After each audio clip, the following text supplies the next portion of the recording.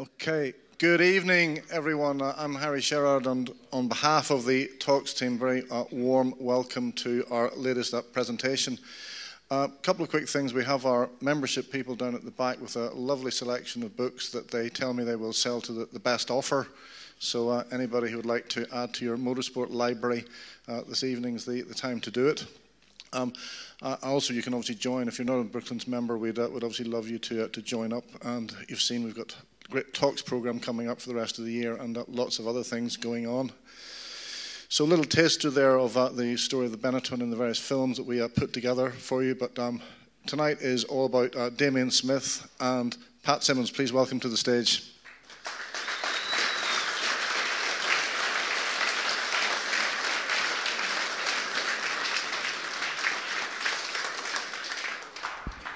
Well, good evening. Uh, lovely to see so many of you here today, and uh, at Brooklands, it's always special, special place to come, particularly uh, tonight, because if we were coming tomorrow night, obviously the M25 will be shut, and we'll all be camping for the weekend. So, um, uh, so thank you to Harry and for his, his team for organising uh, what I hope will be a really special evening here at Brooklands. Um, and it should also be mentioned that Harry and his team, that the team are, are all volunteers. So um, I think uh, I'm really grateful to their, to their work in putting this evening together. Um, so yes, we're here to talk about Benetton and we have the ideal person to do so. Um, Pat Simmons was uh, the chief engineer at Benetton and Tolman before that for many years, and then later in the, uh, the later 90s, he became technical director of the team. Uh, and these days, of course, um, he's chief technical officer for Formula One in general. So the ultimate po poacher turned gamekeeper, I think it's fair to say. Um, so I'm delighted uh, that Pat could join us tonight. It's really special. He was a huge help uh, with this book. This book actually wouldn't have happened without Pat. I needed to get his blessing before I, I even attempted to try and write it. And uh, he very kindly um, gave me his blessing, wrote the foreword, and uh, gave me a lot of his time. Sat over cups of tea in his kitchen, talking about the 80s and 90s and some some great old stories. Uh, and it's all in the all in the book, uh, which is on sale at the back of the room if you haven't got a copy. Um, so what I've done is I've got a, a selection of pictures that we've taken from the book, and we're just basically going to talk through um, uh, the, the pictures and the themes, the major themes of the team. Um, it's not the whole 20-year history of Benetton because it's uh, it's all in the book. You can read about it. It's it's uh, uh, and we've only got one evening. I don't want to keep you here all, all weekend, but we're going to start by just just just flicking through. And uh, the first picture here we got is um, Michael Schumacher with Luciano Benetton. And one of the key things about this book that I was intrigued by is why a, a so-called woolly jumper company would buy a Formula One team. And Luciano wasn't a particularly um, public face uh, in this team, was he, Pat? But you, you told me, um, in a way, Benetton were ideal owners for a Formula One team. Why was that? Yeah, I think they were. Um, I mean, Luciano was a really remarkable character. He was so forward thinking, uh, he, he was so sort of international. Uh, and there were so many things about the way they ran the business, the woolly jumper business, as he described it. And um, you know, his sort of forward thinking, his sort of worldwide marketing. I mean, just as, as an example, one thing that really impressed me when we first went over to Treviso, where they were based, was that, and you've got to remember this is the days before the internet and, and easy communication and everything. But they did actually have a system where all the stores worldwide would send in their daily sales every evening, so it's on a daily basis, uh, which basically said what colours of pullovers they were selling. And all the Benetton pullovers were white, and then they would dye them depending on the way the sales were going. And it was that sort of forward thinking, I think, that just fitted in so nicely with, with having what was rapidly becoming a global sport um, to, to publicise what they were doing. And, and they brought such a freshness into it. Uh, and Luciano was, uh, he was so supportive of everything we did. He, he, he really was a remarkable character. Mm. The team, um, the, the, book I called Rebels of Formula One for a reason. That the, the team was kind of a, uh, a bit of an outsider team from the beginning, and you, you kind of kept that spirit all the way through. And actually, Benetton, um, the more I looked into the, the clothing company, I don't know much about fashion, as you can tell, um, but they, um, uh, they had that sort of rebellious kind of nature as a company themselves, didn't they? It was a perfect kind of marriage in a way. Oh yeah, a- a- absolutely. I mean, their, their, advertising at the time was was world famous. Mm. They, they they probably got more publicity from making the adverts and actually displaying the adverts because they were so controversial. And they allowed us to go, not allowed us, they encouraged us to go racing in this sort of um, non conventional manner. And, and, you know, Formula One was very, very conventional in those days. Yeah. Uh, the, the sort of grandee teams, the constructors, they, they, they've been doing things in a certain way for a long while. Um, and they were automotive based. And along came this, this woolly jumper manufacturer. I, I like that expression. uh, and, you know, decided that they could get in, not only get into Formula One, but start to dominate it. And um, I think they approached the way they were doing it, very much the way they approached all of their businesses. And, and actually, something that's a model these days, still, I think, where you find the right people to do things, you give them the freedom to do it, you trust in them, and you mm. let them get on with it. Yeah, yeah. Okay, well, we'll move on to the next picture. Now, we, I've picked something from the Tolman years here. Now, obviously, Tolman, this was 1984, famous picture of Ayrton Senna at uh, Monaco. I'll talk to Pat about that in a second because it's uh, one, of, one of the key, key, keystone moments um, for this, this racing team was that day in the wet at Monaco. Um, Toleman obviously started much earlier than 84, and you joined in uh, beginning of 81, didn't you? Just right. as the Formula One adventure was beginning, and they yeah. just come off the back of great Formula Two success uh, in, in 1980. Uh, Toleman, now, just, just tell me a little bit about Toleman, what it was like turning up at Witney with this sort of band of, again, rebellious kind of characters.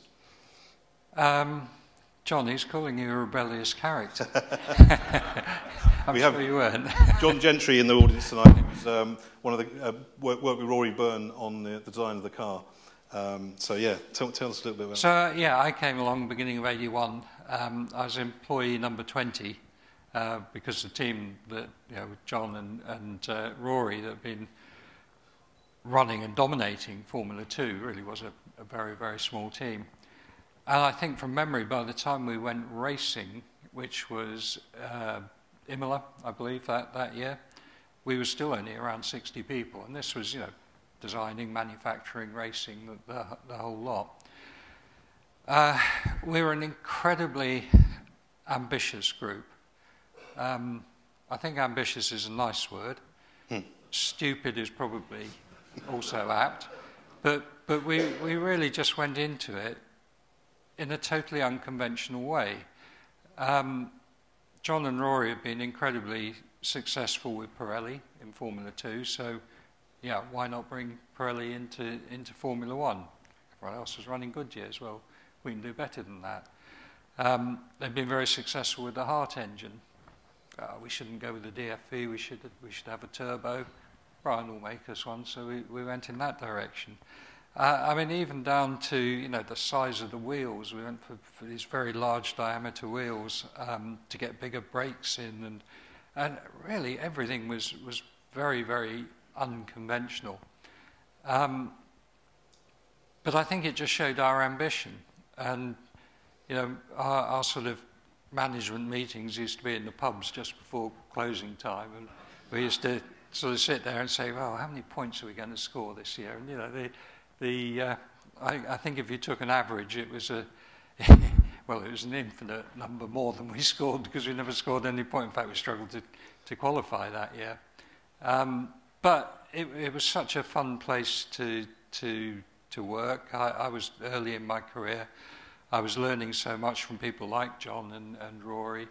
Um, I was probably, you know, the slightly more sort of academic engineer, and, and you know, it was nice to be able to start to to put a little bit of that into into what we were doing. Mm. Uh, it, it, really was it was fun times, but it, it, was pretty hard work as well. Yeah. And I, I managed to speak to Rory for the book, um, and it was actually during COVID, and he was in he was in a, Bangkok hotel room, and he was having to isolate for ten days, um, and he, he literally just had room uh, service left outside his door. He hadn't seen anyone uh, and I got him on the phone. I think the only reason he took my call was because he was bored, basically. But he did take my call. It was great to speak to him. He's a lovely man, uh, and obviously one of the most influential racing car designers, full stop. Um, but he told me how he was learning on the job, really, um, in those early years. You all were, in terms of Formula One. You're all fairly, fairly much new to Formula One, really. Uh, going your own way, making your own mistakes. But by the time this photo was taken in 84, you were a good team. And this was a good car. And you had, obviously, an extremely good driver who was new to Formula One himself. Yeah, all of the above, I think. Um, you know, the, the 81 car, the, the, the, car that got christened, well, variously, the, the General Belgrano or the, the mm. Flying Pig, uh, and it was both. Um, yeah, it, it, it, was definitely a car where our, our ambition exceeded our ability. Mm. Um, I think John was the only one who actually really had any. Uh, John and probably our chief mechanic at the time, uh, Sal, were the only people who had any Formula One experience, uh, and the rest of us no nothing like that. So you know it was very much a, a learning car. But then uh, we produced the uh, the car that went on to to become the the 80 83 car, because the 82 car, the 81 car ran through 82 as well. And you know, that was the third carbon monocoque that existed. Uh, I think only McLaren and Lotus had made a carbon monocoque before us.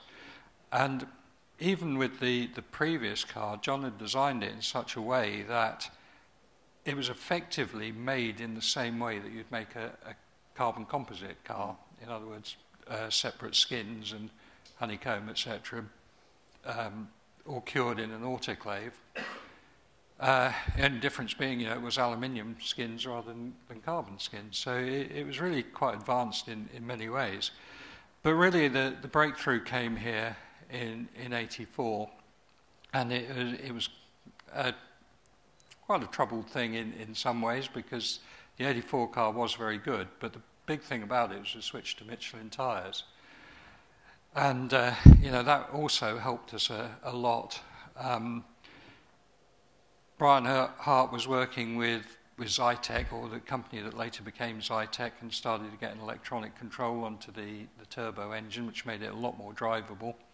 Uh, in fact, I think Monaco was the first time it ran, and it was on, on Ayrton's car. Um, so, you know, all, all these sort of things combined to actually give us something quite good. But the interesting thing was that although we'd gone to the Michelin tyres, which really were much better, and you know, we'd done a fair bit of testing prior to the, this car being introduced. Uh, it was introduced at Dijon early in the year. Um, we'd managed to get the contract with Michelin, but McLaren, or Ron Dennis, ha- had insisted that if Michelin were to give the tyres to, to us at Toleman, they were not to be the latest spec. They always had to be the spec sort of a year behind or whatever.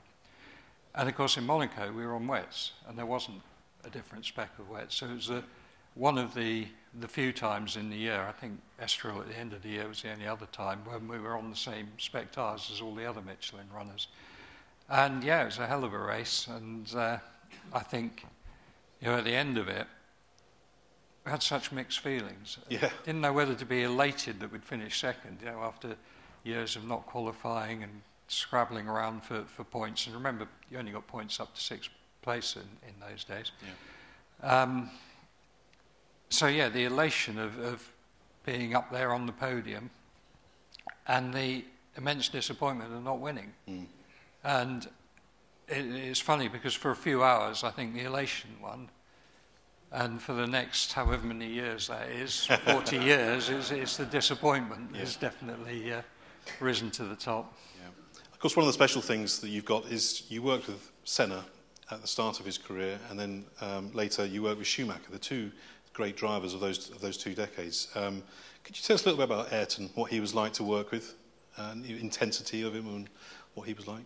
Yeah, he, he was an interesting character. You know, he, he, he wasn't the sort of guy unlike Michael, you know, the sort of, Michael was the sort of guy who you just immediately you, you became friendly with. Ayrton was such a serious guy, so so intense, but it was pretty obvious straight away that he, he was something special. Mm.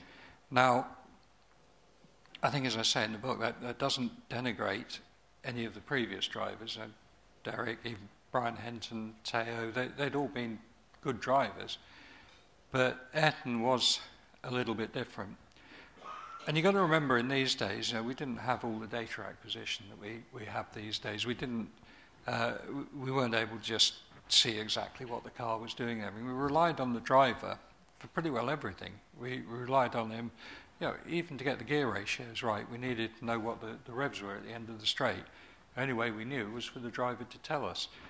Had we got the, the cooling right, the blanking on the radiators and things, well, the driver had to tell us what the oil temperature was and the water temperature. So it's a very, very different world. Um, but Ayrton just, he just got into it and, and in such a way that you, you just, I, I think I think what's remarkable was that after a couple of races, you you totally forgot he was a newcomer. Mm. You know, he, it was like he'd been there forever, and he he knew everything that was going on, and he had this remarkable feel for for both the engine and the chassis. Um, yeah, it, it, we were all growing up together. I would say, you know, yeah. certainly me. I, you know, I was a very young and experienced engineer. Uh, working with a driver who, yeah, he had a lot of capability, but again, he was still yeah. young and learning. Yeah. But um, yeah, he slotted into Formula One like he'd been there all his life. Mm. Now we could do a whole evening on Toleman. Um, there's one for you, Harry. Actually, we could do, do another one on, on just just on the Toleman team because there was so much to talk about. But I'm going to move things on to a, a year later. So this is Monaco in '85, and uh, this is still a Toleman.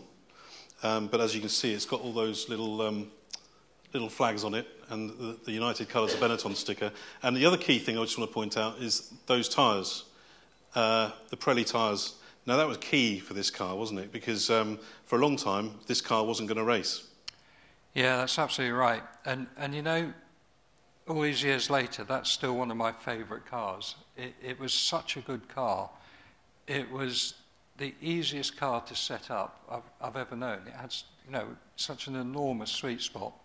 And by this time, you know, we we got the wind tunnel running, and we were really starting to understand a lot more about what was going on. So it was a, it was a lovely car. It didn't score any points.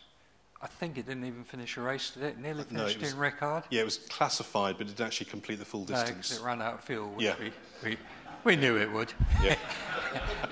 um, yeah, it, it, couldn't hold enough fuel to do a, a Grand Prix, which in the other It's a bit of a problem, yeah. No, it wasn't for the other 15 events because it had no hope of getting to the end anyway. but um, yeah, the other key yeah, thing... it was it, as you say. The, the, the, big thing here, of course, was that we started the year not going racing. Yeah. Uh, and I, I've got a, a, photo at home, and I'm sure Greg's probably got the same photo of the three uh, 185s at Donington. Not in these colours; they're in the sort of red, white, and blue, the the, the Toleman colours at that time. And our drivers were John Watson and Stefan Johansson. We had the three cars there on Avon tyres up at Donington for a mm. bit of a shakedown, and that was the last that was sort of seen of them until we, we got racing later in the year when Pirelli eventually agreed to give us some tyres. Took ages to find a photo in the blue and white, red, red white and blue colours. Um, and Chris Whitty, who was going to join us tonight and isn't, isn't here, but he managed to find me a picture of Stefan Johansson uh, driving at, um, at Silverstone. And I, in the book, I, I talked to John Watson, who was slated to drive the car, and he loved the car. He said it was a great car, uh, the brief experience he had with it, and he really wanted to work with Rory as well, and he said how great that was. Uh, very sort of fleeting, um, uh, skimming the, the, the surface of, of Toleman, and it didn't, it didn't work out for John. But the other key thing about this car and this year is, so we all call this a Toleman, but you and your colleagues in Witney consider this the first Benetton, don't you, really?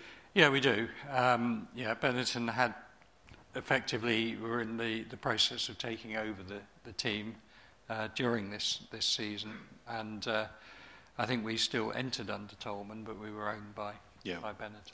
So let's move on to this car, which is a really famous car, the 86 B186 Benetton, the first official Benetton in terms of name, and with that great colour scheme with the, uh, the splashes uh, over the back. And this is Gerhard Berger. Again, at Monaco, just Monaco because it's a great place to take pictures of racing cars, and you can get a great view of the, uh, of the paintwork on the back. Um, and um, the, the one thing I wanted to ask you about was Gerhard, actually, because you worked with Gerhard twice. You worked with him at this stage, the early stages of his Formula One career, and then towards the end. Um, I'm always quite fascinated by the early Gerhard. Um, tell us what, what he was like in 86 when you worked with him. Uh, well, firstly, he's a hell of a character, and he, he still is. I, I, saw him last week, actually, and he, he, just doesn't seem to change. Um, In fact, actually, in, in Bahrain, I nearly had a heart attack because I saw Gerhard and Jean Alesi at the same time. like, oh no, it's flashbacks. This can't be happening. But, um, but yeah, this, this really was a, remarkable car, and, and Gerhard, um, yeah, he, he went for it with this car because you know this was a brutal car. Uh, it wasn't it, wasn't as good as the, the 185 in terms of setup and everything. Partly because you know now it had some power, and I think in that video they, they said sort of 1340 uh, horsepower, uh, and, and that that was our initial target. Now there was no dyno around at that time that could measure that, so what we had to do was we had to, to measure the power at a given boost, turn the boost up, and get a curve, and then we could extrapolate that up to what we thought the maximum was. And, and that's a megawatt, you know, that's, that's something. And our, our further ambition was to try and get 1500 horsepower out of it, which would have been one horsepower per cc, but we never actually quite, quite got to that. Mm. But to answer your question, I mean, Gerhard, um, he was. He, he, was a, really quite a mixture. He, he, he's quite an intense character in the car, but he was a lot of fun out of the car. And uh, again, early in his career, you know, he had a very long career. But um, yeah, he, he was really good in this car under all circumstances. Now, the other driver in, in this year was Teo. And Teo was a very underrated driver, I thought. But Teo was really at his best in a very fast circuit, and providing there was no other cars around. So, yeah, okay, so yeah, that's probably not the best way to go racing, is it? But um, if you take somewhere like Austria uh, with this car, uh, in qualifying, Gerhard went out, he set a, a, a lap time that was good for pole, uh, quite a long way ahead of everyone else. Teo was half a lap behind him, and beat it. So we had, we had a 1 2 on the grid in Austria with this car. But uh, the minute it got into the race, uh, and incidentally, neither car finished, but the minute it got into the race, Teo just went backwards because now, you know, he had, he had to fight in, in the pack.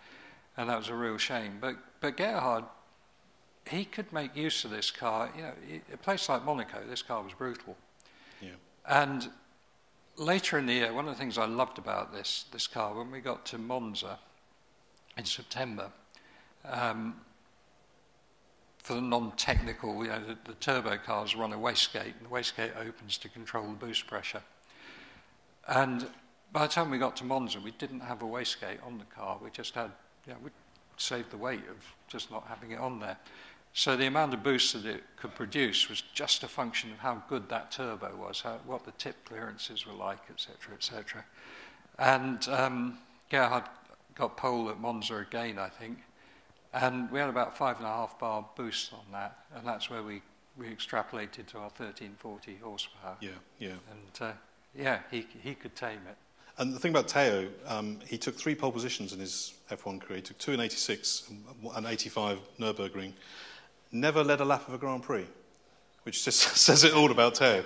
Uh, something would always go wrong for him. Just, just one of those, one of those drivers who. Well, he, just going back to the 85 pole at, at, at Nürburgring, that, that, was, that was quite a, an amusing sort of incident because remember in those days we used to have two qualifying sessions and your, your fastest time from either session determined the grid. So on Friday, Teo had been fastest, and on Saturday it rained. And uh, in the rain, uh, he had quite a heavy shunt actually on the on the pit straight, just got on the power a bit early and it turned it into the, into the pit wall. No HANS devices in those days, so his helmet hit the steering wheel and he was concussed. And he got out of the car and went back to the, the motorhome. And because we, we used to joke so much amongst us, uh, you know, which was typical of the team. And Teo was, he was really acting odd. And I was sort of thinking, you know, really, you know, is he, what's the matter with him? Uh, and I said, you do remember you're on pole, don't you? And he said, yeah, sure, you know, tell, tell me another one. And he, he had actually, uh, he did have concussion, but of course in those days, yeah. Just carried on, didn't you? Yeah. Slight lack of health and safety compared to today. Um, we'll just touch quickly on um, the first win in 86 uh, at Mexico. So this was a, a tyre-related win, uh, really, rather than a performance-related one. But I also wanted to just point out this chap here um, is, a, is, a, key figure in the Benetton story, but it's kind of a little bit forgotten. Um, David Paolini, who was Benetton's right-hand man, and basically he was the marketing guy at Benetton, and he was the guy who kind of um, suggested that they get involved in Formula One in the first place in the, um, uh, in the early 80s. So he was quite a key figure. Um, but what's your memories of this, of this win? Was it, it must have been a big moment for you all to actually get a, get a victory. Well, this tyre-related win. Mm. I, thought was, I thought it was a talent-related win. Of course, yeah. Sorry, yes, I forgot it's a talent-related. but you're quite right. Um, yeah, this was Mexico, and uh, the car was good there because altitude and of course you know the, the turbo engines were, were better than the, the DFVs there. So we were starting you know from a good point. But um, it was the first year in Mexico. People didn't know the track. We were running quite a hard Pirelli tyre and the Goodyear runners were on a much softer tyre which um, literally just fell apart. Uh, and so we, we dominated by, by not stopping. Um, memories of it. Uh, I think one of the, the big memories was Luciano was there actually at that, that race. Mm. Uh, and when we run it, when we won it, uh, he said, well, we're going to play the British national anthem because it's a British team. And, and that was something that meant an awful lot to, uh, to everyone who worked there, I think. Yeah, yeah, that's, that's a big thing for him to say as well. Oh, yeah, huge, wow. huge. Yeah. Okay, well, we're only about halfway through, and we're only at 1986, so we better, we better crack on. Um, I've picked this picture for a reason. Uh, Thierry Boutsen blowing up in a big, big fashion at Silverstone. Reliability in the 80s. Um, you, you went on from, you never had the same engine year on year. It was always a different engine. You went from the BMW to the Ford Turbo and then to the um, no, normally aspirated uh, Ford Power. Um, and what, what were your memories of this this time? Because the Benetton were always a team at this era who were knocking on the door. You were nearly there, um, but it, you always just fell short. Yeah, I, I, I guess that's a, a fair comment. Um, and, you know, people often underestimate the value of continuity in a team. It, it's so important. You, know, you see what Max is doing now. Um, and it's largely because you know he's been with the team for a while. They know exactly what he needs in a car. They set the car up for him. We had the same with Lewis at Mercedes. We had the same with um, Fernando at Renault. And what we didn't have at this time was any continuity. You know, we were changing engines all the time. Um, we we had the contract with Ford. We had the, the GB engine, the little V6 turbo, which was a lovely engine, absolutely wonderful engine. And it had a huge potential. Um, the trouble was that it had been developed on Mobil fuel. And we had a contract with BP. And, um, sorry, it's the other way around. It had been developed on BP, we had a contract with Mobil. And Cosworth had said what the fuel specification needed was. and Mobile said they produced it, but they hadn't. And it, it wasn't really till we literally copied exactly the, the fuel that we really got the thing running properly. Mm. It's quite a thirsty engine. It did use a lot of fuel, but it actually gave quite a lot of power. Yeah. Uh, and by the end of the year, I mean, by Japan, you know, that was running 1,000 horsepower, and it, it, it was a, a good engine. But then we made a, a really, I think, a fundamental mistake. Um, we were led into a fundamental mistake because that first year the, the engine was allowed to run at four bar boost and for the following year that was being reduced to I think it was two and a half. Um, now at the same time Cosworth had been doing some work with Yamaha and Yamaha produced a little four cylinder two litre engine uh, and this engine was giving something like 320, 330 horsepower, which is a hell of a lot from a four-cylinder two-litre. And it had five valve cylinder heads. And everyone thought, oh, it's because of the five valve cylinder heads.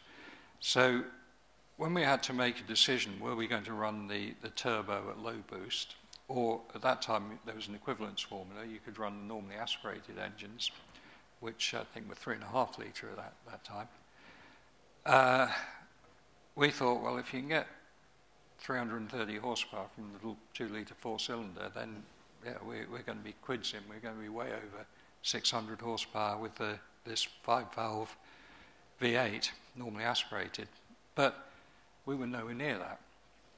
And what we didn't find out really till a little bit later was that all the secrets in that Yamaha engine were actually in the bottom end. It, it was one of the first engines that really was a low friction, mm. low loss engine.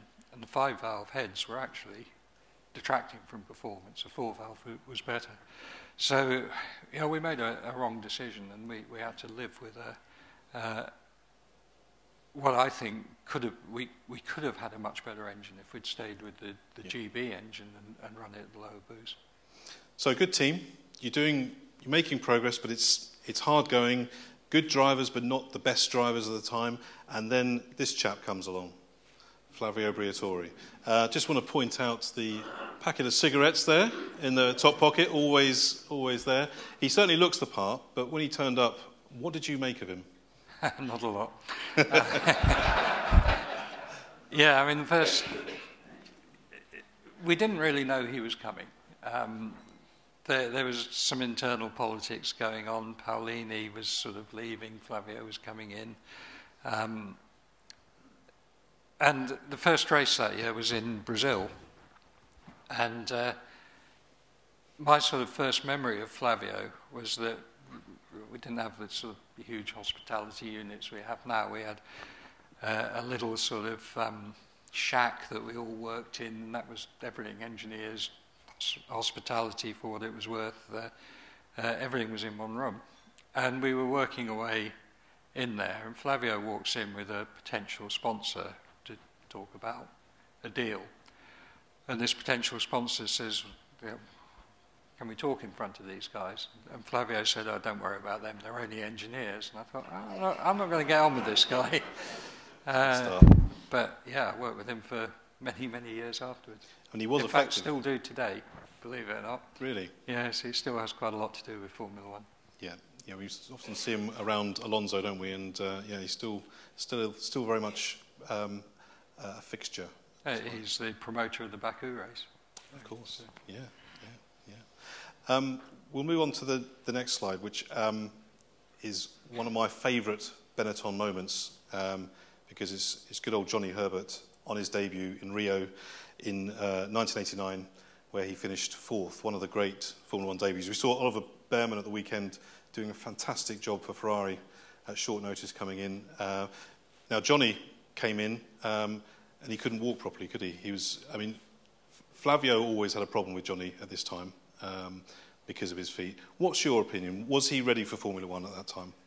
Uh, I don't think he was, but that result was absolutely amazing. Mm. Um, his real champion was Peter Collins. Peter Collins thought he was the boy.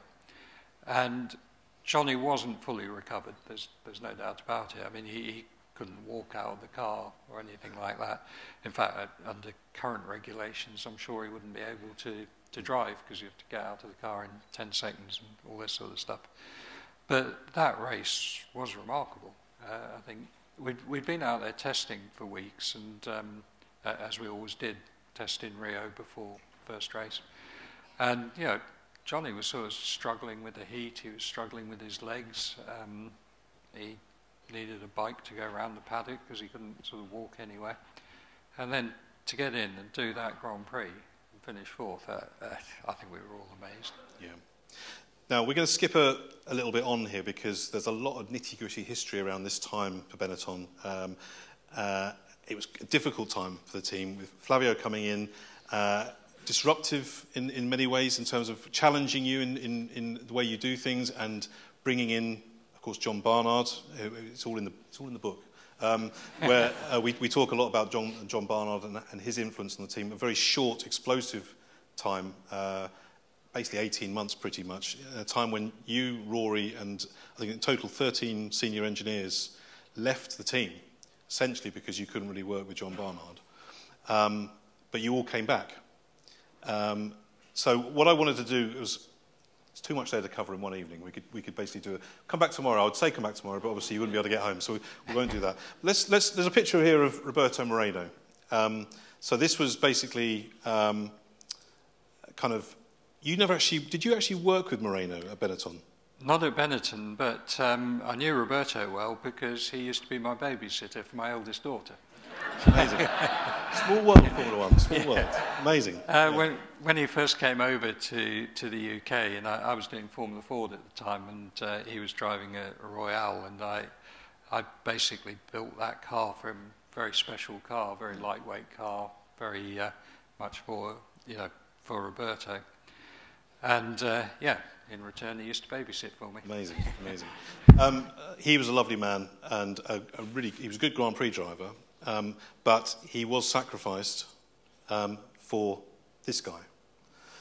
So Michael Schumacher came in uh, that amazing uh, Jordan performance in '91 uh, at Spa, his only Jordan performance, because then uh, Flavio and Tom Walkinshaw, who'd come into the team, um, so Barnard had gone, and um, Flavio actually, a good deal that he did was bringing Tom in, and more importantly, brought in Ross Brawn with him they came into the team and they obviously swooped. One of the early scoops they had was scooping Michael away from Eddie Jordan, much to his chagrin, uh, and working with him uh, at Benetton.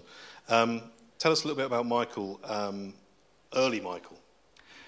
Yeah, just uh, back a little bit, you know, when, when Barnard came along, as you say, 13 of us sort of left, and we, we tried to get on with Barnard because I did feel. You, you said earlier, you know, we, we were on a bit of a plateau, weren't we? We, mm. we, we were a third, fourth place team. And I don't think Rory or I knew exactly how we were going to take that next step. And Flavio had the idea of bringing in Barnard. He was a guy who, you know, he knew how to win. And I was quite supportive of the idea. I was very supportive of the idea. Rory was a little bit nervous of it, but, but still supported it. Uh, until the guy arrived, and then you know, when we got to know him, we just couldn't work with him. Yeah. He, he, he was just impossible. You know, it was it, it, it, it was like oh, Orwell. You know, it was a Godalming good, Whitney bad. It was as simple as that. Um, so we, we'd all disappeared off and gone to do the Reynard project, and that was actually when I first met Michael. Because Michael came round as a, a potential Reynard Formula One driver. And to be honest, I, I didn't really know anything of him at the time. Uh, and it wasn't until later on, you know, when we saw what he did in the Jordan, and like, yeah, that's good. Yeah. Uh, as you say, Flavio and, and Walkinshaw and Bernie, Bernie was very heavily involved. Yep. Uh, got him signed into the Benetton, but we weren't there at that time. We came back a bit later. Mm. Uh, so I first got to know him really when the next season when we started testing again the early season tests and um, first race was in Kyalami mm. that year. So we were at Kyalami testing because that, that's what we always did. We went to the warmer places to, to do the first race and, and did the testing there. And it was really, you know, getting to know each other uh, a lot. And um, as I said earlier, I, I really like Michael. Uh, still do. I still think he is the probably one of the nicest drivers, if not the nicest driver I've ever worked with. And all round, I'd say he's the best driver I've ever worked with. But we were getting to know each other.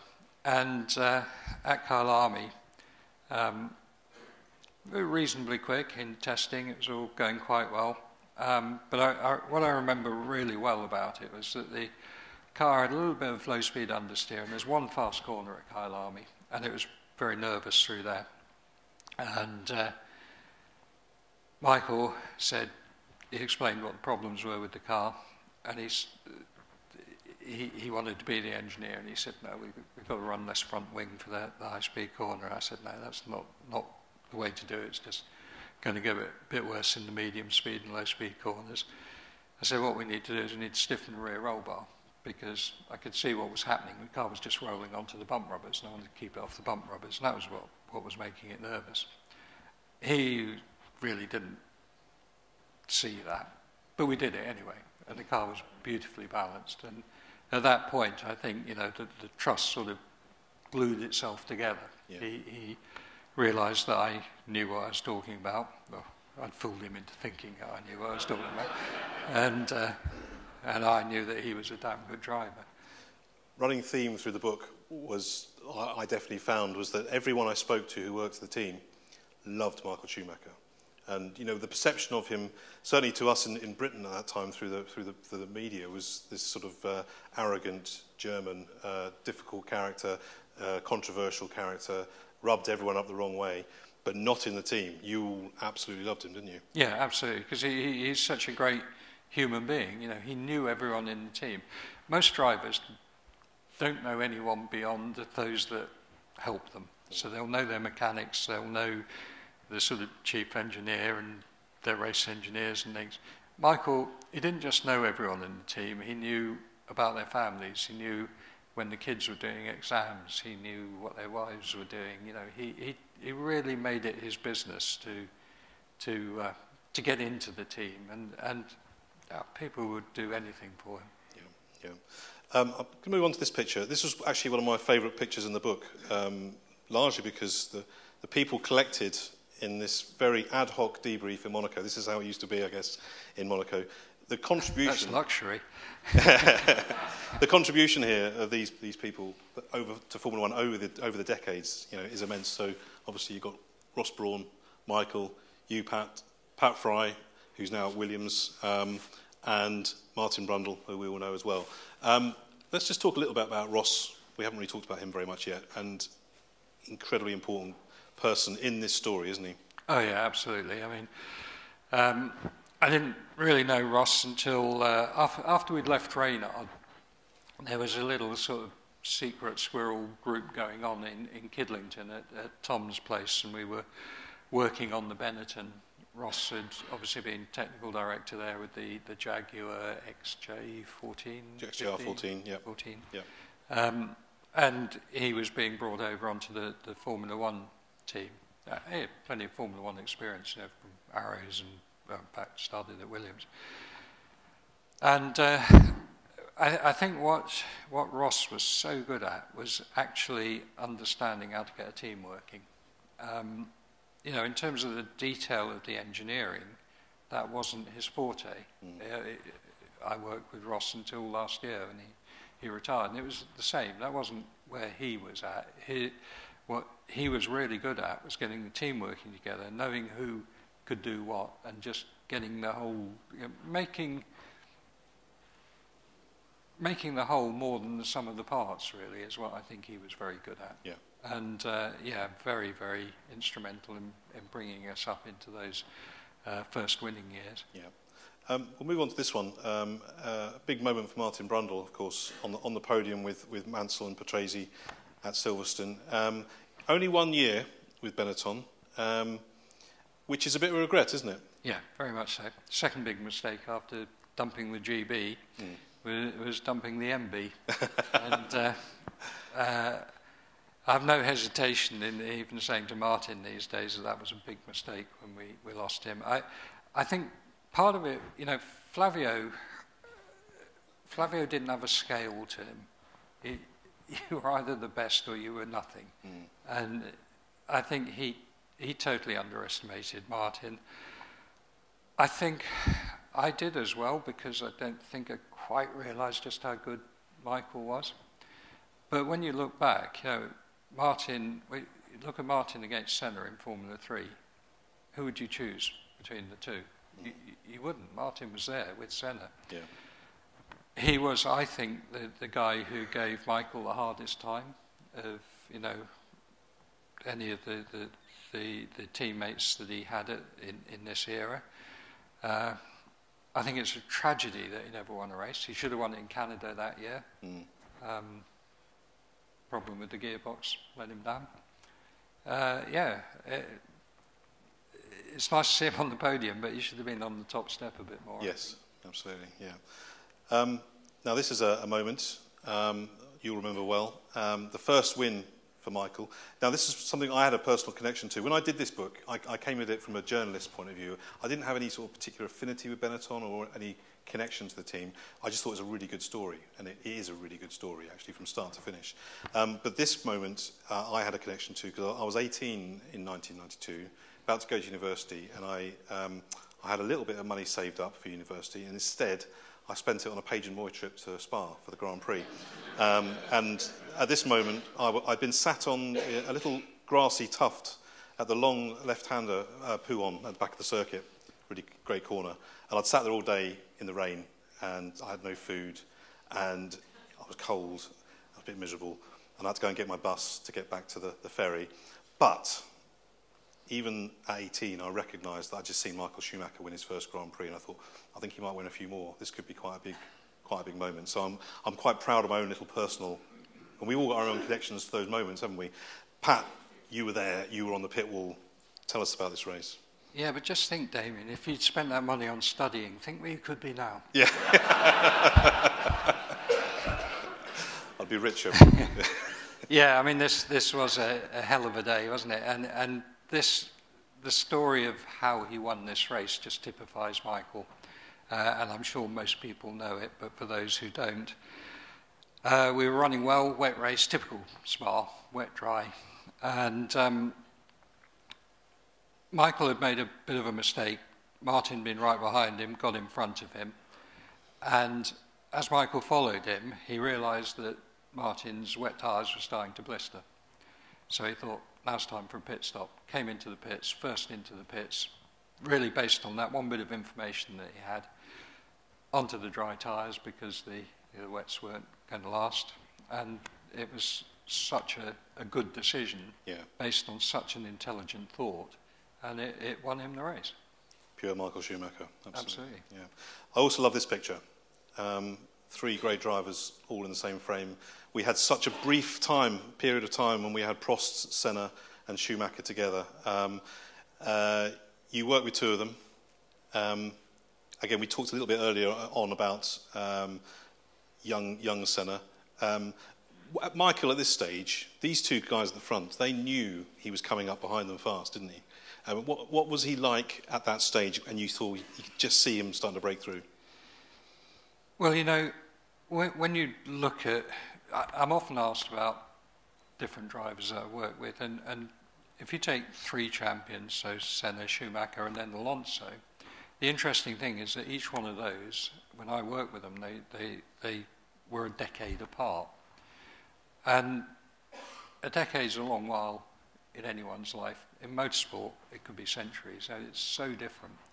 So, trying to compare Senna to Schumacher, Schumacher to Alonso as drivers, you know, it's very hard. I, I was saying earlier about how with, with Senna, you know, we needed him to, to be our data acquisition system. With Michael, we were already had a lot of data on the car. But you know, the thing that all of them have, and I don't think it's unique to racing drivers, I think all elite sportsmen have the, the same thing, is this incredible self belief that they have. Ayrton got into that Toleman and he drove it. He was the best driver in the world. Um, you know, and he knew that wasn't the right car. In fact, actually, when he first drove the car at the test in November, um, prior to, to the season he raced in, he sort of said, yeah, yeah, it's not a car to win in, but who knows, maybe one day he might get a podium on it. Yeah, but he was capable of doing it, he knew that. And Michael, exactly the same. Um, later on, of this story, but Fernando, exactly the same. It's this incredible self-esteem that they, they have. A- and a work ethic as well. They all work bloody hard. Yes, yeah. Okay, we move on to this one now. So, 1994. This was the this was the chapter I knew was hanging over me that I had to write and deal with. Uh, very, very, what a, what a weird, weird season for you because finally it all comes together and you're winning. This, I thought this, po- this picture kind of sums up where Michael was compared to the opposition that year. Yeah, we were on fire that year. Mm. yes, very good. Uh, yes, yeah, that one. Um, let's just stick on this picture for a moment. So the, the B194, it's one of the most controversial Formula One cars in history. We all know the stories. Um, and I knew when I was telling this, this story, I had to tell your story and the people who were at the team and what they were saying, telling me about this, this year. And it, I think it's fascinating. It's fascinating to, to go back over it. Um, tell me why that car was so good. I think that it owed a lot, funnily enough, to the active car that we'd done the year before, mm. the 193. Um, in developing that active car, we'd learned a lot about vehicle dynamics, and we also had learned a lot about aerodynamics. And when, the, when it was announced in Canada uh, in 93 that they were going to ban active suspension, we immediately just turned all our tools onto what do we have to do now to make a passive car. And we, I, I, think one of the things with, with the active car was you could get it to run at the ride heights you wanted for the aerodynamics. Yeah, that, that's what it was really about. Mm. Uh, yeah, it had better tyre grip, had you know better uh, ride control of, of the tyres and things like that. But but really, it's about the aerodynamics. So we, we really worked on the suspension. Um, we had a quite a complicated passive system there, which had a lot of disc springs, and we could we, we wrote some programs that allowed us to design these disc spring stacks to to give us the sort of curves that we would have had with a, an active car. But then we also realized that we couldn't get away with the very peaky aerodynamics that we had on the active car. So we, we really started developing on a much wider aero map in the, in the wind tunnel. And it came together to produce a car that was you know, almost as good as that 85 car mm. um, that, that we spoke of earlier. Now, of course, after, after Senna's accident in Imola, there were all sorts of things happening with the cars. Some, uh, it was knee-jerk reaction, and I don't mean that in a bad way, because I think Max realised that we were we were at a very pivotal point in, in Formula One. Uh, we had just killed our best driver, and if we didn't, if we weren't seen to be doing something, then the sport was going to go through another Le Mans 1955 type of, type of thing. But the changes that were made, and they came in bit by bit by bit, um, they really did neuter that car and all this work we'd done into producing this really, really beautiful car, excellent car.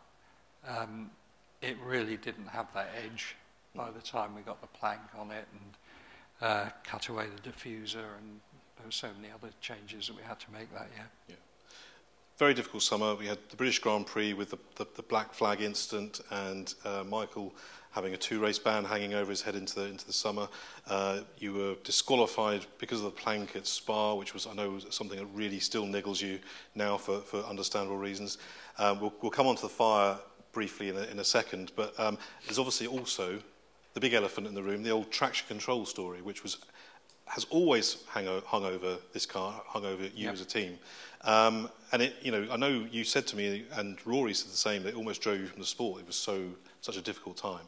Um, when I came to this, I, I had to ask Pat the question: Tell me, did this car have traction control? You know, was there anything illegal on this car? Um, what do you say today? Absolutely not. Um, the the guy had been doing a lot of the uh, the control work on the active car Tad Czapski. He'd done the gearbox control, um, done the launch control on the, on the 93 car. When he adapted the software onto the 94 car, he didn't do it very well. He'd left some menus there, but there was really nothing underneath those menus. Now, when it all got investigated, a guy called Alan Prudham, who was the FIA software scrutineer, he came up to the factory and he looked at everything and he said, Oh, what's this about? So we looked at, at, at the start the, of the race. Uh, I can't remember which race it was, but you know, right when he'd come in. And it was actually a pretty rubbish start. And, yeah. and it was, he said, Yeah, no, I can see there's nothing going on there. But you have to understand the politics behind it. And you have to understand the enormous battle that was just springing up between Max Mosley and Flavio Briatore, mm. um, which really went back to the Barcelona race after, after Monaco, um, sorry, after Imola, when the teams had sort of rebelled against some of the safety ideas that Max wanted to, to impose. And Flavio was, he was waving the flag higher than anyone else, and he was really attacking Mosley. In fact, he, he, we were in a debrief and he came into the, the office and he said, that's the last we'll ever hear of Max Mosley. Mm. Now, that's a dangerous thing to say. Yes. uh, and there is no doubt in some of the things that happened, there was, there was politics going on. Um, that car was 100% legal. There's no doubt about it. Uh, I, if, if someone had been trying to pull the wool over anyone's eyes, I'd have seen it. I was looking at data continuously. I, I know that, that that car was good. And you can see some of the things that were going on. Yeah, the Silverstone incident was just blown out of all proportion. You know, a black flag for nudging past someone on a, on a formation lap. You know, we look back at videos and we saw it happening time and time again. The plank in Spa, the regulations at that time said that you were allowed one millimetre of wear on the plank. if you'd got in excess of one millimetre of wear on the plank, then you had to take the plank off and weigh it, the weight had to be whatever percent it was of a, a new plank. They refused to do that. Mm. They just said, no, you're out. And, you know, there, there were an awful lot of things going against us there. Let's, let's take a look at the, the famous fire. So Hockenheim, 94, um, and Jos Verstappen comes into the pits. Now, for the, for the book, um, the, the guy here, Paul Seaby, long, long-term um, uh, Benetton employee. In fact, he's still at the team as Alpine today. And I, I, I door-stopped him at the Alpine F1 launch a couple of weeks ago and said, will you come to Brooklands? And he said, I really want to come, I really want to come, but it depends, I'm still doing my day job and it depends how we're doing. They're not doing very well, are they? So, he's, yeah. so Paul, Paul couldn't make it. He's still fairly busy. Um, and I also spoke to the photographer, Stephen T., great, great photographer, uh, long-time face in Formula One, wearing jeans, uh, no, he was wearing shorts and a T-shirt when he took this picture. Um, so, uh, and he didn't know what he'd got until the following day. This, this was still um, the days it was um, uh, still film. So when it got back to, to LAT's uh, base, uh, the, the film got developed, and they said, Steven, you better have a look at what you've got here. And he, would got this, this image. Now, you saw this from the pit wall. Um, I felt it from the pit wall. Did you? Yeah, yeah. Uh, obviously, I had my back to it. Um, yeah, and I, I thought, oh, what's that? and then turned round to look at the pit stop as I normally would. And yeah. By that time, it was well aflame. And uh, the story behind this, uh, uh, Joanne Villa del, del Prat, who was a very entertaining interview when I managed to get hold of him. We had a very funny uh, couple of hours uh, on a Zoom call. Um, and he admitted that um, the filter was taken out, but he claims he'd got permission to do it, and it, you know, it, it wasn't, it wasn't uh, simply trying to gain an advantage. Uh, it's very complicated, actually. But I, I don't want to, probably shouldn't go too much into it. But that, this all just added to this incredibly stressful time. Yeah, because we were in the wrong there. Um, you know, Joanne gold, I mean, lovely guy, but he, he was always sort of, oh, what can I do here, what can I do there, without looking at all the implications. And if you wanted to make a, a change to the refueling rig, you had to write to the FIA, you had to say exactly what you were doing, and that, that communication was shared with all the teams. Uh, Joan says he got permission for it, and I think that was by saying to Charlie, can we take the filter out? And Charlie, I doubt Charlie said, yes, of course you can. But, yeah. but Joan probably turned it from English into Spanish as a, yes. and um, although it's never proven that that was actually what caused the fire, there's every likelihood that it, it, it did allow something through which jammed the valve. It's, yeah. it's very possible. Now, we, we come to the end of that year, Adelaide, and this is Michael leading Damon Hill before the famous incident. Um, so, when you saw what happened, um, two, two questions, I guess. First one, did you think he meant it? And second, did you think he was going to get disqualified? Uh, let's answer the second one first.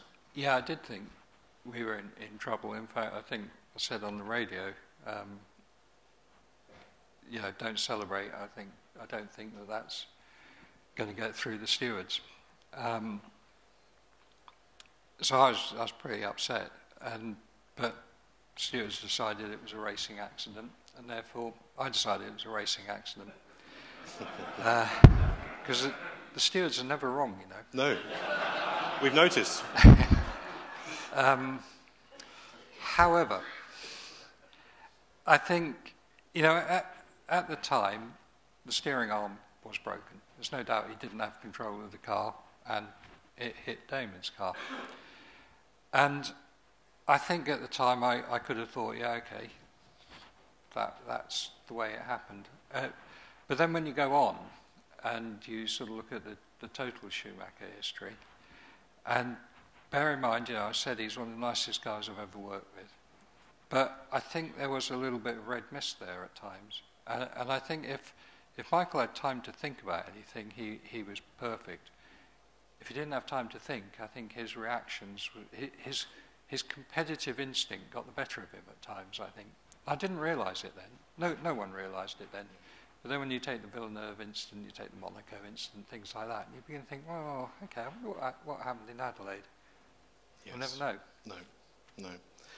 Um, we're, we're, sort of running a little bit short of time, um, and I want to give you a chance to ask Pat some questions. There's an awful lot more um, to talk about. Um, 95, how you had a, a season, basically kind of, a, I could describe it as retribution, where you, you won it, and you won it without really any shadow of doubt. Um, and that must have been, that must have meant an awful lot to you. Yeah, so much. I mean, in the 94, yeah, I really wondered whether I wanted to carry on. And two things you can do. You can quit or you can go out and do it again. We went out and did it again and yeah. that was worth so much more. And also just quickly before we uh, throw it open to you guys to ask some questions, um, the end of Benetton is a, it's a long spiral down basically from, from 96 until um, 2001. So the team was sold to Renault in March 2000, but a little bit like the Tolman Benetton transition, there was that period where it was still known as Benetton despite the fact it was actually Renault. So the final race was Suzuka 2001. Um, and you described to me that that whole period, really, you were trying to build the team up to be sold. Yeah, absolutely. Uh, I think what people realise was, don't realise, was we were actually quite a small team. And if they don't realise that, then I'm quite proud of what I did because that was the whole idea. But, you know, you take now, 2024, um, a Formula One engine supply for a season costs 12 million euros. Then we were paying 17 million pounds for our engine supply. And at the end of the year, and this is my friend Flavio, of course, running the engines, we got another bill because we'd done more testing than we said we were going to do. Yes. So, you know, we, we were spending so much money on engines, and it really was difficult running the team. We really were very limited on, on what we could do. And I knew then that the manufacturers were coming. What we had to do was we, we had to be aligned, ideally owned by a manufacturer. Mm. Uh, and so that was, you know, as technical director, that was my role really, was to try and make that deal happen with, with Renault, yeah. which we, we did. Um, I had a very funny interview with Flavio. It took me a long time to get him. I managed to get him on the phone. Um, he's got a wonderful um, woman who works with him and was working with him through the Benetton era, uh, Patricia Spinelli, who's um, an important character in, a, in her own right in the, in the story. Um, she replied to me and said, I'll, I'll, I'll give you some time with Flavio. And got on the phone, she said, you've got 20 minutes. I was like, oh, God. I actually got about 45 minutes with him, which was pretty good going. Um, and even some of it I could understand. His, his accent so strong. Sometimes it was just oh, no idea what he just said there. Um, but I asked him what um, he was most proud of for the Benetton uh, era, and kind of you know one of those easy questions I thought would set him up to say something about Schumacher and you know beating the establishment. And basically, he said he's more proud of Supertec and selling engines back to you at 17 million uh, uh, dollars, which is typical Flavio, isn't it? Yep, yeah. absolutely. Yeah. On that note, I'd like to make sure you get a chance to ask Pat some questions. So um, let's um, uh, raise your hands, and we'll. Uh, Harry's got a, a, mic here. We've got one over over on this side of the room here. Yep. Uh, wonderful words from, from Pat and, of course, from Damien. And the book is wonderful. If you haven't bought it, uh, you're missing out. And I hope what you've heard has, uh, um, has whetted your appetite. Um, I'm not going to ask Pat or Damien a question because it's all in the book and it's a brilliant book. So that's all I'm going to say. And what, what, what's your so, commission, Simon? Sorry, this is Maurice Hamilton, a very well-known, well-respected motorsport journalist, as I'm sure you all know. Pat, you made brief reference, and Damien the same, to having Berger and Alesi in the same team. Can you just tell us a little bit about that? Did Gerhard really keep winding Jean up? Not half. um, yeah, it's interesting because, of course, Michael had um, had left to go to Ferrari, and uh, Flavio, I think he, he, he was really pissed off that that happened. You know, he, he, he didn't appreciate that at all. So he thought his way of getting back at, at Ferrari was to take both their drivers. So we took Alesi and Berger. The ridiculous thing was that we paid them so much, we could have given that to Michael, he might have stayed. Um, you know, it, it, it, was madness. But um, oh, they, they, were, they were so good to work with and so frustrating to work with. I mean, John, I, I love John. He, he, he's probably next to Michael, he's my, my favourite driver. And it, it, it's rather nice because they're both around the, the, circuit now, so I saw both of them in Bahrain last week, and uh, they're both around. But my favourite, my favourite story with, with Jean was um, at Silverstone. We were, we were in a good position. We were second or third, I think, in the race, and a wheel bearing failed. And Jean got the car back to the pits and stopped it, and we had to retire it. He got out of the car, he's in a filthy mood, and there's a stack of tyres there, and he hit a stack of tyres, knocked them over, which hit a toolbox, knocked that, everything was flying around. And I'd come off the pit wall to see, you know, whether we could get the car running or anything, and I, I sort of witnessed this.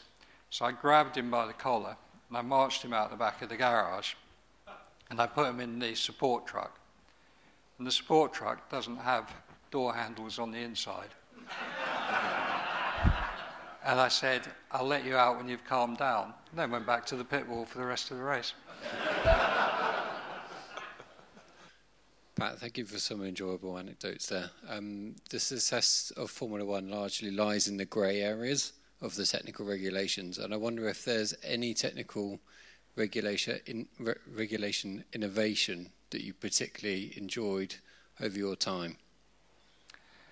I certainly enjoyed the active era.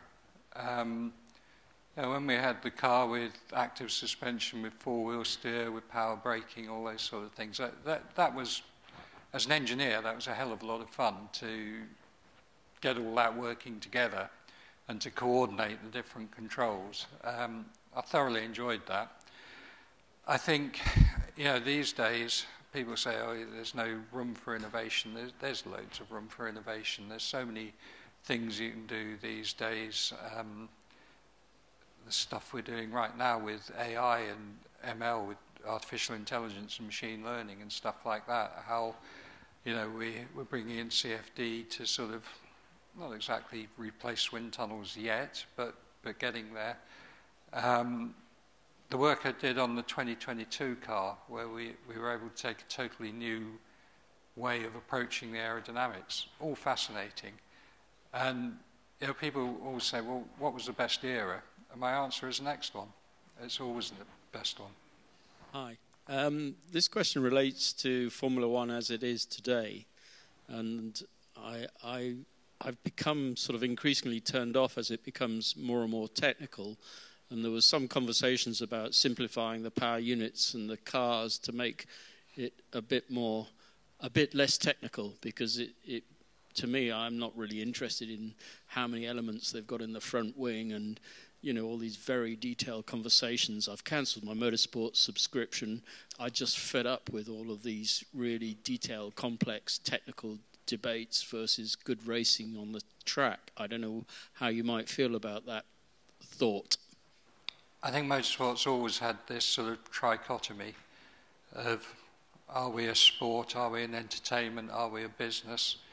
Um, you can add many things to that. Do, do we have a, a duty to sort of contribute to the automotive industry or to society as a whole or, or, or whatever? I mean, we continually do that.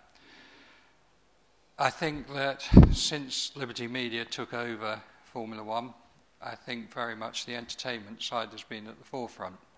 But we do an awful lot of fan studies. We, we, we try and understand our fans because we, we're getting a whole new raft of fans now, very different demographics to, to the past. Um, there is still a significant number. Uh, I, I, was quite surprised when I, I joined Formula One uh, because I thought, having worked 40 odd years in the teams, I thought it was only a few nerds who, who, who liked the, the engineering side. But actually, we find it's quite a significant amount who are interested in it. So we have to get that balance. But always the best thing is good racing. Uh, and that's why, you know, one of the big projects I've been involved with in the last few years was the 2022 car and getting the aerodynamics so the cars could race closer. Of course, the teams always try and spoil it, and they're trying to do things differently. But um, yeah, don't, don't underestimate the, the, the, technical side. Is interesting to a number of people. And if we get it right, it doesn't detract from the racing, the aerodynamics of the 2022 car enhanced the racing.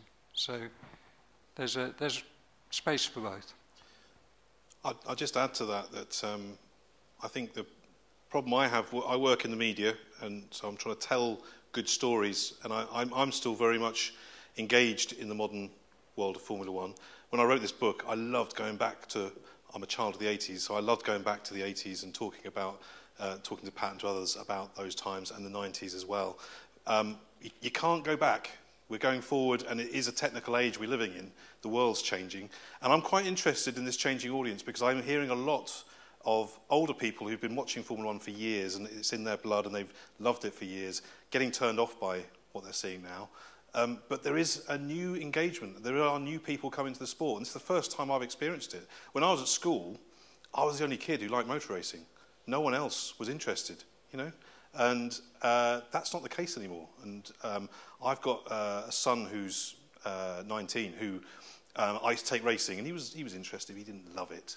Um, but he came to the sport on his own way, not through me, but through these characters we've got now, like Leclerc and Norris and George Russell, and he followed them on social media. And they're great characters. There's still good characters there.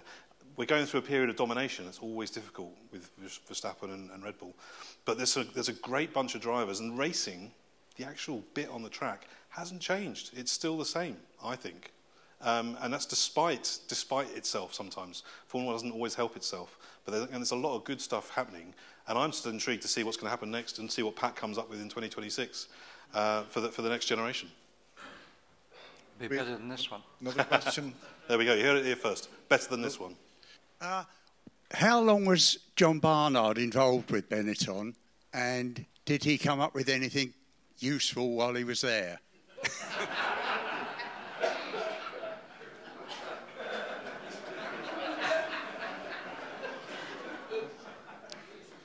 So the first answer is too long.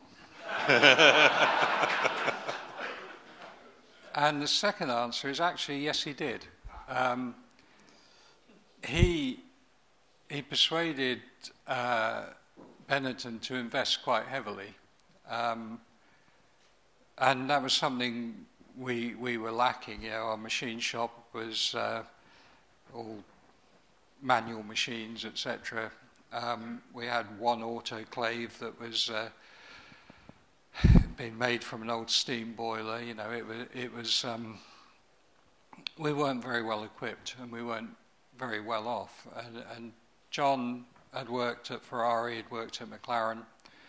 Uh, he knew the sort of equipment that was needed, and he persuaded Benetton to uh, to invest in that. Uh, and I mean, two of those autoclaves are still in Enstone today, although they were originally, uh, well, no, they were installed at Enstone. He, he, worked while we were still at Witney, but um, those, those autoclaves didn't get installed there. They went into to, to Enstone.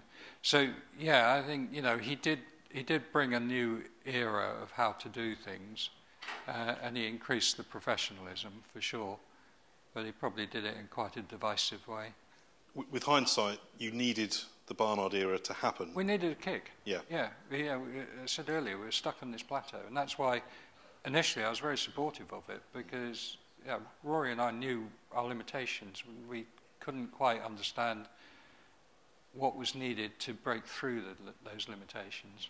Uh, and you know, you see it. Uh, you still see it today in, in teams where you, you don't get that sort of um, need to be careful what I say, but I worked for a team recently that perhaps could have done with a little bit more outside influence. Hi, Pat, down the back over here. Um, totally agree that the racing and the technical sides are really, really key to engaging pretty much everyone. Another thing that I've always loved is just watching the cars move and the driving element of it. I think watching Berger um, in Adelaide in 86, just now I was watching some stuff 96 last night, even 2006, the cars move around all the time. N- nowadays, they're on rails, they're absolutely glued to the track. For 2026 or maybe 2030, whatever the next regs are, is there any way of writing the regs which gets the racing amazing, but the cars looking brilliant as well? Yeah, I got, I, I got some sympathy for, with you there. I, I, love watching rally cars. You know, uh, I think when you when you watch in car on a, a modern Formula One car, even though I know you know you couldn't drive that car the way those guys are driving it, but it sort of looks like you could. But when you watch a rally car, you think, geez, those guys are skilled. And I agree, I'd like to see the cars move around a little bit more. So on the, on the 26 car, it, uh, it does have less tyre grip and it has a lot less aerodynamic grip. So I think we will start to see them move around a little bit. Um, it, it is difficult because, you know, the, the teams are so big now. There are so many engineers, there are so many people just devoted to making that car go quicker. And the quicker it goes, the better it sticks to the road, or vice versa. Uh, and it's very hard for the regulator to, to keep that in check. But I'm, I'm absolutely with you. Um, you know, sometimes uh, you hear this sort of armchair myth that oh, what, what we need is we need more mechanical grip and less aerodynamic grip. And my answer to that is look at a race in the wet. What we actually need is less mechanical grip because a car in the wet is difficult to drive and the racing is better. So, yeah, and the cars move around a lot. All, for that.